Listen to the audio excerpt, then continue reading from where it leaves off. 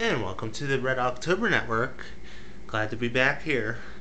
Um, I'm a little bored tonight, so we're going to do a little experiment. I noticed at one point everybody was talking about who was the most uh, popular person on the internet Justin Bieber or Lady Gaga. So instead of me deciding, because I'm kind of biased, I'm going to let my cat Bettina decide. So here is Bettina. Say hi, Bettina. There you go. So here we have a picture of Gaga from paparazzi and a picture of Bieber before the haircut. So what I'm gonna do is I'm gonna go and I'm gonna put some treats down for Bettina.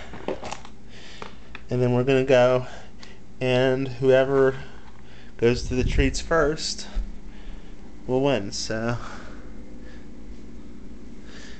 what I'm going to do is I'm going to make it nice and fair. You can kind of see that these are spaced evenly. And we're going to have Gaga on the left, Bieber on the right. Let's see who she picks. So we'll put the camera down.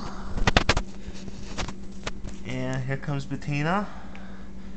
She ignores the treats. Let's try this again. She just ran. Let's try this one more time. All right, Bettina.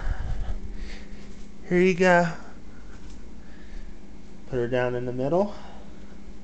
Which does she want? Does she want Gaga or Bieber? And there you go, ladies and gentlemen. Bettina, the smartest cat in the world, decided that Justin Bieber was better than Lady Gaga.